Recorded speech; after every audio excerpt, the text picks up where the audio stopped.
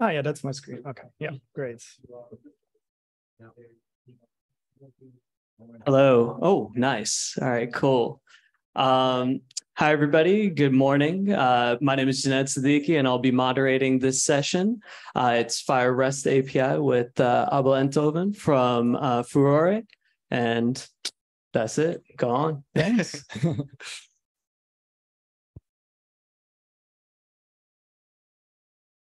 Yeah, so uh, that's who I am. I'm Abel Enthoven. I work for Furore. I have done some uh, FHIR uh, server installations and also, uh, uh, yeah, used used Firely server as a uh, facade, and also programmed on uh, server myself in in the past, and also done some stuff with HAPI as well. So it's like a, a mixed bag. Um, just gonna go on.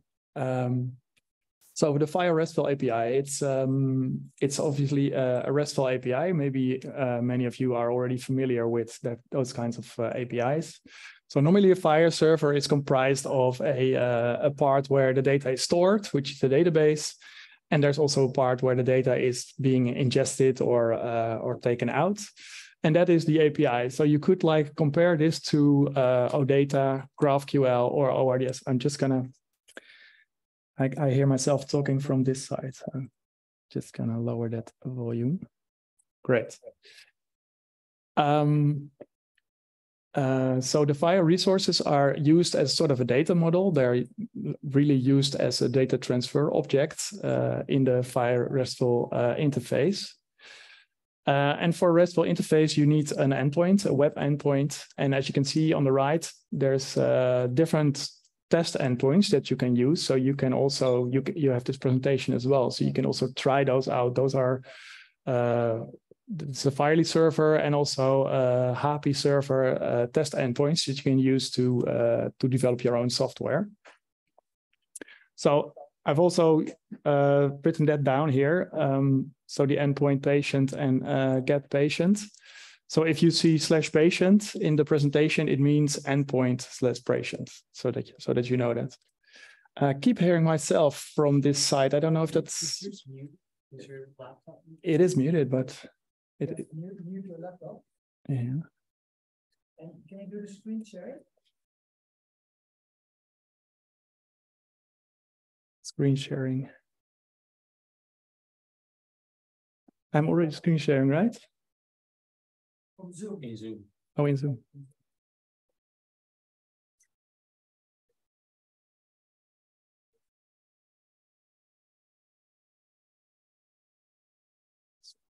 Oh, here, yeah.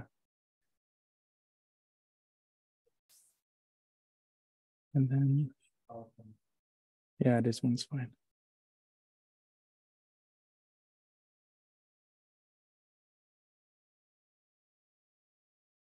That better? I still hear myself. I think so, I think so too, but it I already shut it off. Oh, okay, it's still doing it, but I don't know what's happening.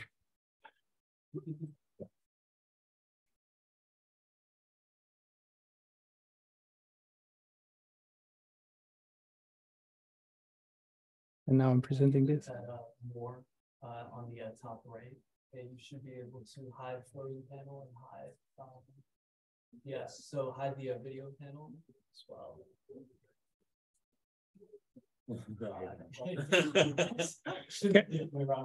Can someone help me? You can click uh, escape.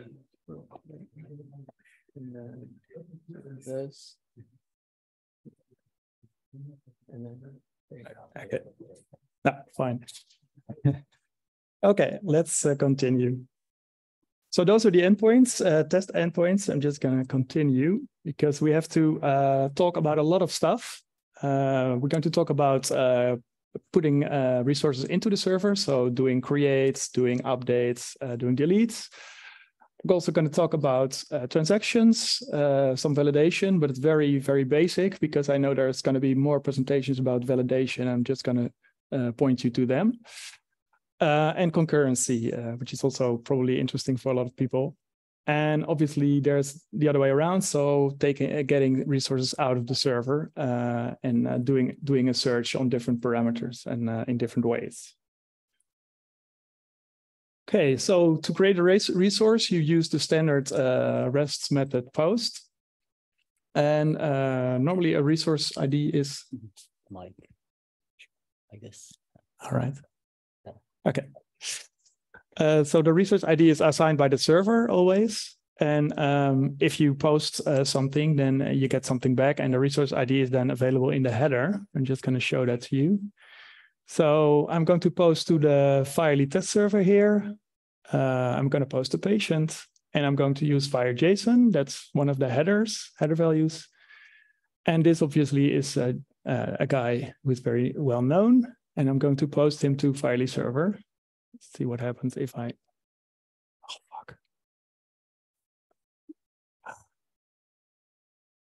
Okay. Hopefully this will work. Yeah. Uh, so I get a reaction back from the server, which is uh, 201 created. Um, that means obviously a resource is created. You can see here on the right side, there is a location uh, header and it contains the whole uh, URL of the resource that is created. And it contains the patient, obviously, and the ID here, which is a, a GUID that Firely server assigns. And also there is a historic versioning. I'm going to talk about that later. So this is the normal ID, and then you have some versioning uh, at the end of the string. Um, what you also what you can also see is that Firely server does not really respect me because I asked it to make uh, a patient with uh, ID JT and it didn't do that. It made a resource with a GUID uh, ID, and that's because uh, a post or a create is is just meant to to assign a new ID. And to be honest, I don't know why it doesn't uh, give me uh, like a problem with this, uh, with the, the fact that I, I use JT as an ID. So I'm going to continue to a different way to do this. So you can also upsert a resource, which just means that uh, you can either create one or update one um, using the put method, which is also a standard HTTP. So if the resource uh, exists, it's completely replaced. So you replace the whole resource with a new one. And if it doesn't exist, you can create it using your own ID. So in this case, you can provide your own ID. Um, and the last one is a is an additional server uh, capability. You will see that uh, many times in my presentation because some of like servers are different, obviously, and some servers have implemented this, some servers have implemented that. So this is one of the capabilities that's not implemented in all servers, but I think in most. So I'm just going to show you how to do that. So here you have the same resource with uh, the ID AF, the very well-known uh, singer here. Uh, I'm just going to post it, but I'm going to post it not to patient, oh, sorry, to put it, but not to patient, but to patient AF. So I have to use the new ID also in the URL. Going to do that. And as you see, you can see that here I have the new ID AF uh, and it's like the way I want. So to be honest, I mostly use put in my uh, projects because you can decide on your own uh, ID. And most of the time, if you have an ID from, for example, the organization that you work for, and you post your resources, that's the same ID. So that's that's really easy. Otherwise, you'll have to uh, store the the connection between the two somewhere. And I'm also going to post an observation on the same patient. So uh, this is the patient AF that I just created. That's used here as a reference. And I'm going to uh, post an observation, which is uh, normally like a blood pressure or something or, uh, or, anything else. And I'm going to post it using the reference so that it, it becomes connected to the patient that I just posted.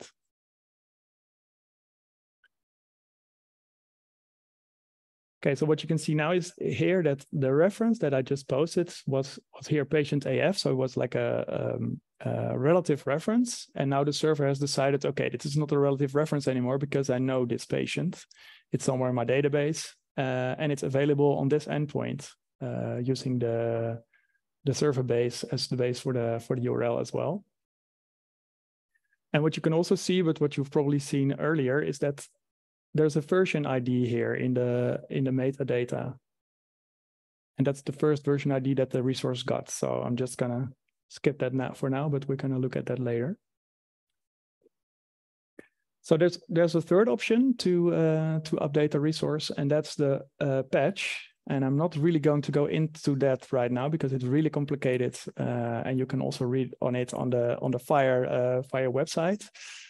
Uh, to be very short about it, uh, it's something that I never use either because because of the fact that if you do a patch, you will only replace a very specific part of your resource and not the rest. Uh, which means that you have to be very very careful about uh, about um, yeah keeping those two uh, synchronized. So um, yeah, you can you you may be able to do a patch if you do it very fast, but if you don't, then you risk the yeah you risk that you're losing it. And, and we're going to talk about that uh, later as well because it has to do with uh, yeah your resource um, being um, uh, be, yeah, being safe in, in your database. So the reason that I would do it is if you have really low bandwidth. So for example, if you're developing for a web application, well, that's even today, it's not, not really a, a thing anymore. Or if you'd only have partial uh, partial resource access. So if you have only access to certain parts of the resource. Not all servers currently implement patch, but most do, I think, already. To delete a resource is uh, really easy. Um, yeah, so there's a few things that you need to remember that the delete on an on an existing resource or a delete on uh, on a resource that's already missing gives you the same result. So the server won't tell you whether or not it existed already. Uh, the only thing, the only way you could see that is in the if if you want the resource data returned, but we'll talk about that later. So the data that you get returned uh, can be different uh, depending on how, how you do the call. Um, and you have to realize that previous versions of a resource could exist. So we were talking about versions before. You could have several versions of the same resource in your database. If you do a delete, it will only delete the last version of the resource. So you will have to remember that if you're doing stuff for uh, yeah, that that for for health healthcare in general, really, because uh, there are all rule kind of rules about forgetting and uh, the the right to be forgotten and stuff like that. Uh, so I'm just going to put a new patient because uh, then I can delete it. I don't have it yet, so I'm going to put it. Hopefully, this works. Yeah. So it's been created, and now I can delete it.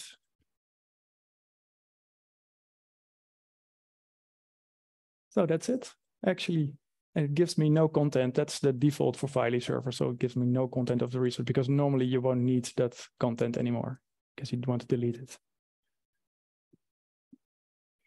Uh, and there's also a possibility to send a batch of requests. Uh, that, that could be really handy in server-to-server -server communications, uh, or if you want to do a transaction, which is usually atomic, atomic um, so uh, a bundle uh, that you you send a FHIR bundle if you do that. You so you send a transaction, and the transaction is composed of a FHIR bundle, and the bundle uh, it contains requests.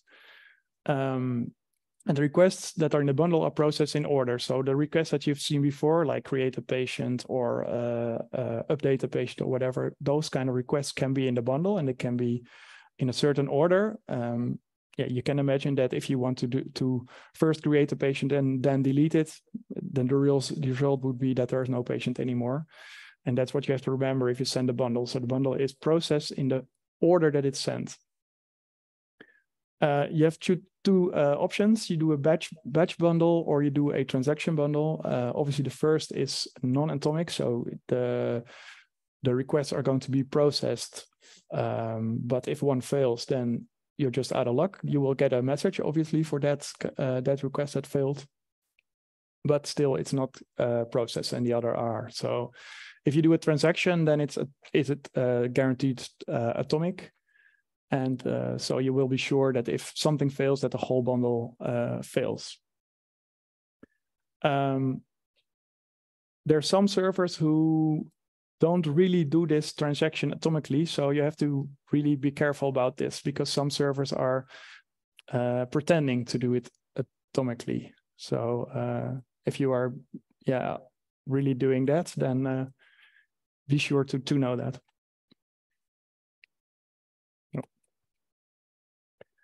So I've bundle here on the left side. It contains uh, entries, and an entry is really a request. So you can see from here, just gonna highlight this. That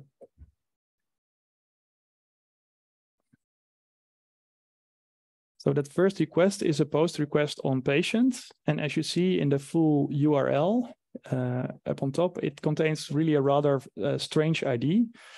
And that's actually a temporary ID. So if uh, a bundle is comprised of different requests, you can give a request a temporary ID, which means that if this patient is created, the ID that is resulting from that creation can be used in another request in the bundle. So for example, if you would want to create a patient and also create an observation for that patient, you can use this kind of temporary ID and use the same ID as a reference to the to the patient that was created before. So you can read about this also on the website, but you, it's good to know that that it's possible. So you don't have to provide your ID always, because otherwise you would you would be left with only put uh, the put option in this case see if there's other interesting stuff here. No. Just gonna post it then. Uh, oh yeah, and you post it on the base of the server. So you post, post a transaction bundle on the base of the server. Then you get a transaction response and you get a response per request. So every request that was in your uh, in your request bundle gets a, a separate response uh, in this case, you see the first one. Uh, it contains actually the same information that you would expect from uh, from a uh, yeah like a vanilla um, post or put action. That means that this there is a location and there's a status and there is a last modified time and blah blah blah. The e tag will be will I will discuss later because it's uh, it's an interesting one as well. what you could have here is that you uh, in in the case of uh, of the batch bundle, if you use a batch bundle, you could have a um, uh, a combination of errors and uh, created resources. So you will have to, an error is uh, transmitted in an operation outcome. That's the FHIR object for error, sort of. So you will have an operation outcome, then a patient, then an operation outcome, and that's in the same order as you, as the request that you sent. So you can always correlate them to each other. Resource validation, also interesting. There's there's like different levels of validation. Uh, first one is serialization, serialization format, obviously. So you have to send it in valid JSON in this case. Then you get the FHIR basics, which is every resource has a resource type. That's the most basic thing that you can have in uh, FHIR actually. Then of course you have to say what kind of resource type that is. So patient is the the, the next level of um, uh, validation. And then there's also another mechanism that I will not talk about, but it's uh, talked about in other talks. So if you're interested in that, please go to, to these talks. I will list them uh, later. And that's uh, checking against the FHIR profile. FHIR profile is a is a, a further constraint on a resource. So um, you can make these constraints yourself and you can use those constraints uh, to check against if you receive a resource or if you post a resource, depending on what you're doing. I'm just gonna, ah, yeah. I'm just gonna send a resource that's not okay. This resource contains a problem. So I'm just gonna send it and it, it returns a bad request in this case. And also it has like a description, what happened. In this case, the instance count for observation status is zero. So there's no status in this resource and it need apparently it needs a status. So I'm just gonna add a status just to be. Now I happen to know that this is final, I think. That's a valid value, right? Yeah. yeah, it was it was right. Okay so it it created this resource. But that you that's the way you can see that you you made a mistake. And i use it most of the time when i'm developing for stuff. You can use this information as well obviously because you're developing and you want to see uh, what's happening. Obviously in production you're going to do something else if uh, if this happens. So responses are uh, uh, the responses that, that, are given are also um, part of the FHIR specification of the REST specification. One of the interesting things is location. Obviously, we've seen it before. It contains the ID. Obviously, also the content type. So uh, FHIR has a few content types that are specific to FHIR, and it will return that content type to you, even if you uh, uh, asked for a slightly different uh, resource type. For example, in this case, you get application FHIR plus XML.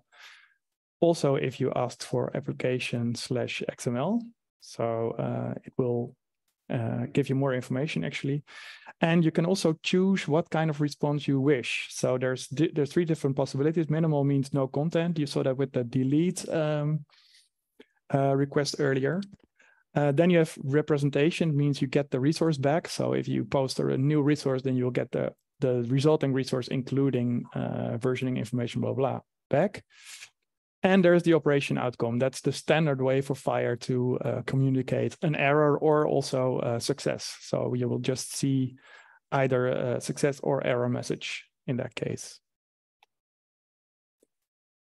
Uh, yeah, so serialization format I already talked about. Um, FHIR has uh, uh, supports mostly of most FHIR servers, I have to say, uh, support more than one serialization format, usually XML and uh, and JSON. Some FHIR servers have different formats. For example, FHIR Turtle is is one of them. Um, so you can use that, and usually a FHIR server will accept. Uh, if you use the accept header, I accept something uh, back in this format. That's what it means uh, then the FHIR server will turn that into something that it, it is more familiar with. So uh, as I said, XML becomes FHIR XML and stuff like that. Concurrency is also a really interesting subject, I think, because it's, um, for example, if you're making like um, a web application or something or a mobile application, um, you will want to know whether a resource has changed while you were doing work on it. So the user has loaded a patient, for example, has changed something in the patient, like the name or something, and you're going to post it back or you're going to put it back actually because you want to uh, do a, um, you want to change it.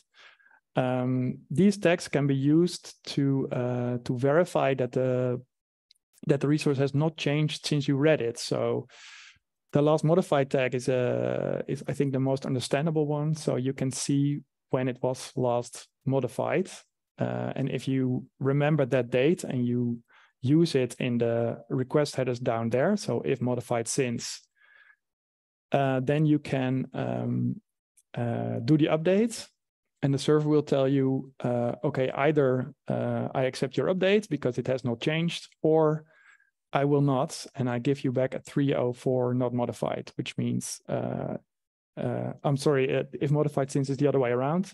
So you read a resource, and if it has mod- it has been modified since timestamp, you you um, you get it, so you get the new data, and otherwise you get a three or four not modified. So that's that's in in case of reading.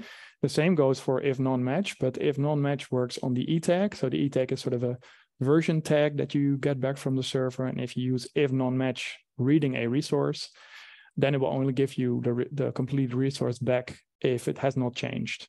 Uh, sorry, if it has changed. And if it has not changed, it will give you a non, non-modified, which means you save data. And you also know for sure that it has not changed.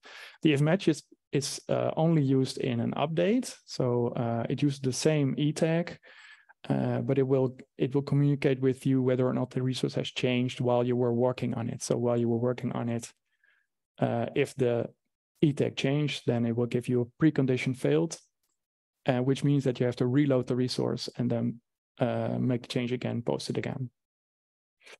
Some servers also have uh, a mechanism for pessimistic concurrency, which is more like resource locking. So um, it will lock a resource while you are working on it and that that way you are the owner of the resource for some time and then uh, you can release it but that's not many servers have that actually um, I'm just going to go a little bit faster because I can see that the time is already ticking. Um, exactly, yeah. So there's a we fetch. I'm just going to talk about searching. Uh, fetching a resource by ID is uh, is really easy. So you get uh, patient one, which is also, you know, if you have a reference, for example, you ask for patient one and you get the patient. But the same, you can do the same thing with a search, and you can just uh, use the question mark and uh, use the search parameter ID, and you you get exactly the same result, except from the fact that it's um, a different format. So I'm just going to ask for the, this patient in this way. I ask for patient AF, and I'm just going to do this. ID is AF. And I get the same patient, but I get it in a bundle. So the bundle is uh, is wrapped around the patient. So you can see that it. I mean, it doesn't matter what you get, but um, yeah, if if you do this uh, ID is AF, you're really starting to do a search, and a search produces a search uh, result set. So that's what you get. Now, if, about the history, so you can get a patient itself, but you can also get the history. Well, that's interesting for like auditing, or uh, if you want to poll uh, something, you get only the changes since the last uh, the last update, for example. That's one way of synchronizing FHIR servers, for example. Uh, and also, if you want to like do something with undo in the in your uh, application. So there's two ways to do a search. You can do it with a get, uh, HTTP get, but you can also do it with a post. And I recommend doing it with a post because if you do a get, then your um, your filter parameters become uh, they are in the URL, and normally that's quite safe. But a lot of systems uh, log this kind of information, so they will log the URL, and um, if you're specific enough, you can obviously uh, conclude from the log that uh, information about a certain patient was uh, requested at a certain date or time. So the most safe way to do this is using a post. And you use the same format, but you uh, you put the stuff in uh, the the filters in the content and not in the URL. I'm just gonna do that quickly. So this, this is the, the body name Aretha, and you get the, the bundle with results, just like you would get with the URL search.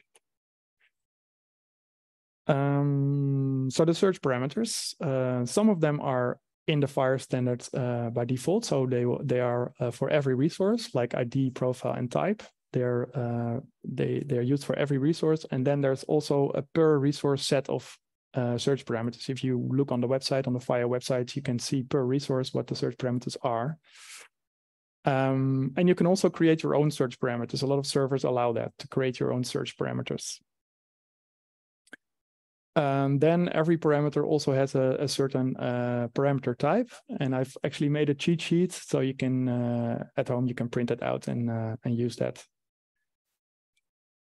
uh, also, there's modifiers to uh, to search parameters. So in this case, for example, uh, uh the family name is um, yeah requested exactly. So uh, I'm requesting for myself Endhove, but um, I want it to be exactly the same. So even with the uh, the caps included. And for example, you can also say missing. So if I want all the observations where the patient is missing is a possible filter that you could do. Um, same goes a little bit for uh, value prefixes. So you can, uh, if you have like an ordinal value, so something like a, a date or a number or uh, something that is uh, that can be ordered, then there's a lot of uh, value prefixes that can be used to do, for example, a greater than or a greater than greater than or equal or lower than or whatever. So it's also included in the sheet. Um, yeah, this one is interesting too. If you want to, for example, uh, ask for a, for an observation, but you want the data of the patient as well. That's that's a very common use case, obviously, because you you ask for something and you want uh, the the associated data with it. You can use the include uh, parameter and also the rev include parameter. But I'm not going to explain that now because it's going to take too long. Um, let's see. So here I'm asking for a, uh, an observation and I'm using the search again uh, with the exact name uh, Franklin and to include the uh, patient with the observation. So as you can see, I get a bundle and the bundle contains the observation that I asked for.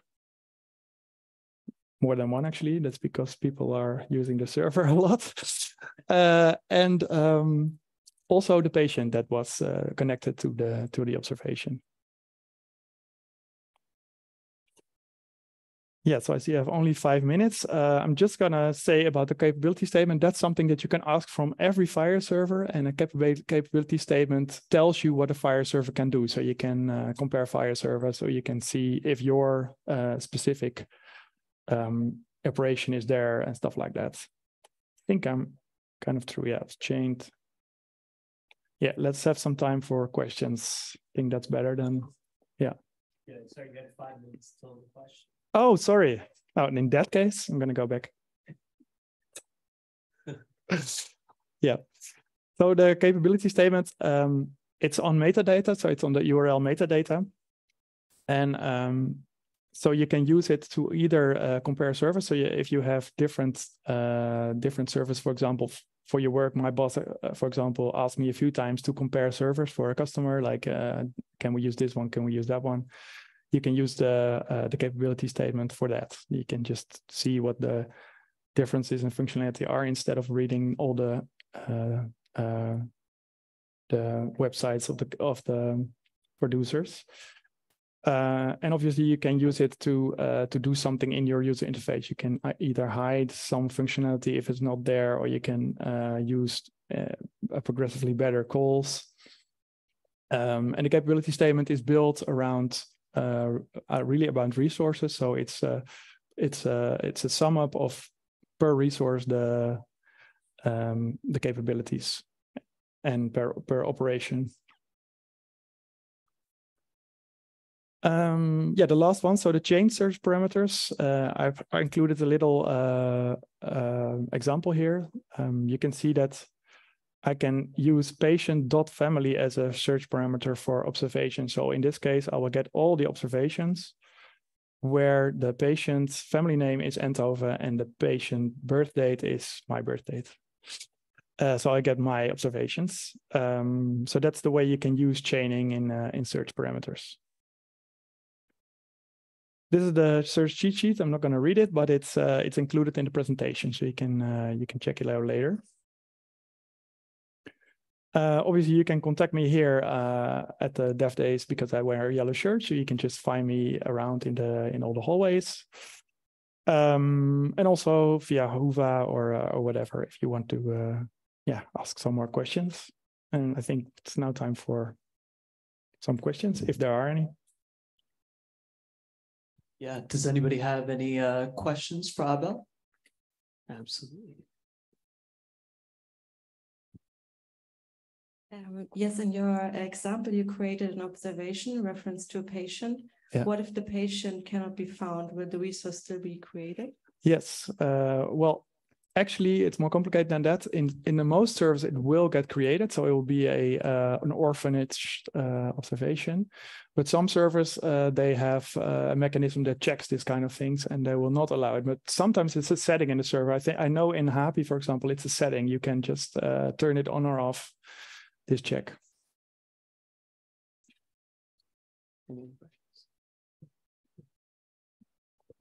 You mentioned uh, atomic and non-atomic. I didn't quite catch what that meant.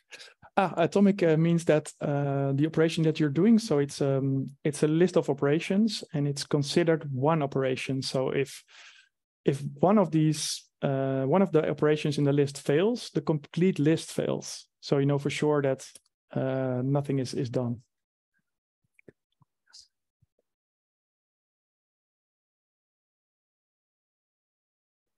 To continue on that same question, if you have a bundle and the operational outcome of this atomic transaction renders to be the fifth step, the fifth resource is unable to be created or whatever, there's an error in there. Is that reflected also in the uh, bundle outcome there? So then you see the first four are successful. Yep. And the fifth one is failing. Therefore, the first yeah even or are reverted then? Yeah even though the complete is is reverted then still you see the the result. Yeah. Anyone else?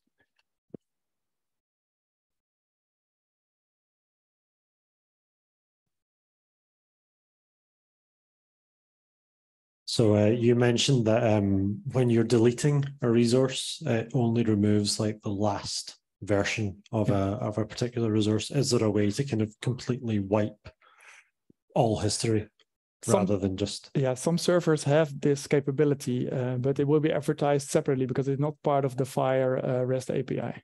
Yeah anyone else for questions? I see a Oh, question sorry, here. Front row. Oh, sorry. Yeah. Uh, you showed the where you requested an observation and you had the search parameters were about the patient that you included. Yeah. If you don't include the patient, can you have search par- parameters? yeah, but you get a, a zero result, so you Yeah, have a, an empty result set. Yeah. I think there was one back there. Yeah. Yep.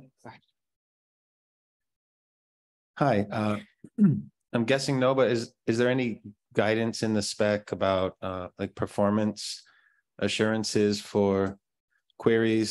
Uh, related, probably not, or you just rely on the implementation? No, there's Uh, not. Uh, there's ways to improve performance though. For example, um, there is a parameter that's called, I think, total.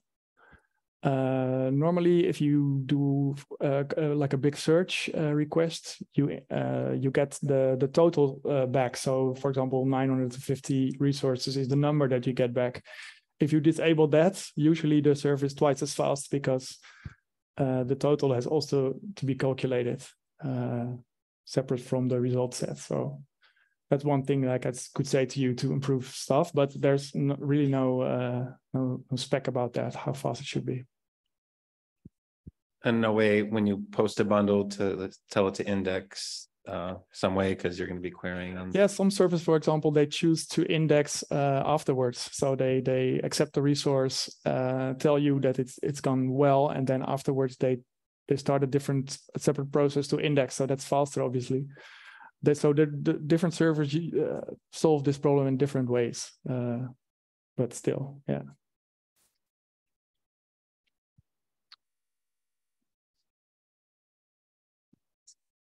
Yeah, just to follow up on the same same aspect. Um, is there a recommendation on how to to sort these these search parameters, especially for performance? Because if you have like um, something which you get all the results back and then you filter in the next step, I assume it's it's much slower than than if you filter for for the for the clearing a lot of um, resources out in the first uh, part. Yeah, you're completely right, but I- I think it's up to the server to solve that problem. So uh, you, as a, a user of the REST API, don't, shouldn't have to bother about that. Uh, you should be free to do it, and the server should decide whether or not it's it's easier or faster to to use uh, one of your parameters before the other ones. Yeah.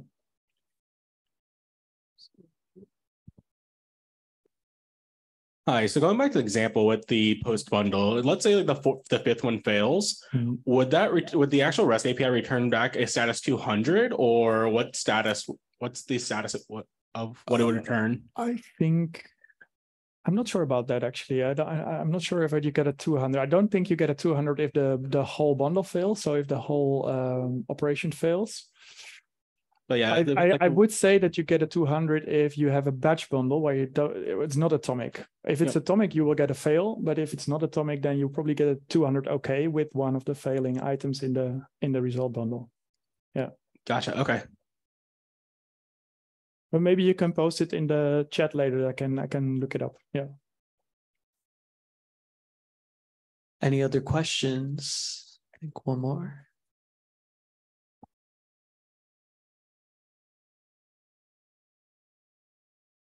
So you had a slide about uh, the history call or the history uh, URL part, which you were showing patient one history. So that's a history, all the changes of that patient. You had patient underscore history. That means what and how can it be used? And also you even adjust history on the endpoint. This one, right? Uh, yeah. So uh, the the first one, the get patient one history means I want I want all the history of one patient.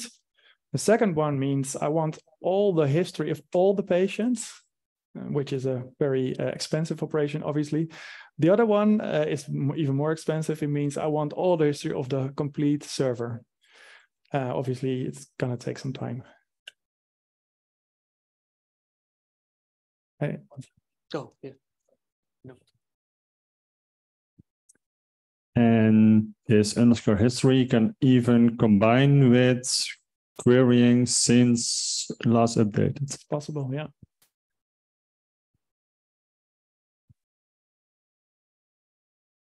Yeah, that's one way to to synchronize. Uh, yeah, good one.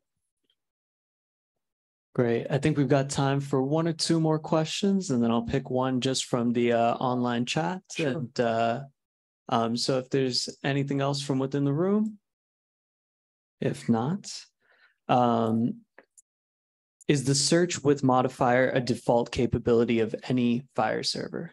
The search? The search with the uh, modifiers when you're able to modify using like the patient name and uh, Yeah, well, those kinds of queries. The, yeah, I think I think I can answer that with yes, but uh, but having said that, uh, none of the functionality is standard for any FHIR server because FHIR servers can choose pick and choose what functionality they they choose to implement. But this is one of the things that are implemented by everybody. So yeah, Yeah. And then there was one more question that I think would just be good for the room. Can a bundle have a mix of operations, post, put, delete, and resources, patient observations? yeah, it can yeah yeah. Well, with that, Abel, thank you so much for your time and uh, thank you all for being here. Um, Yeah, have a great rest of your day. Yeah. Yeah, Give it up you. for Abel. Yeah.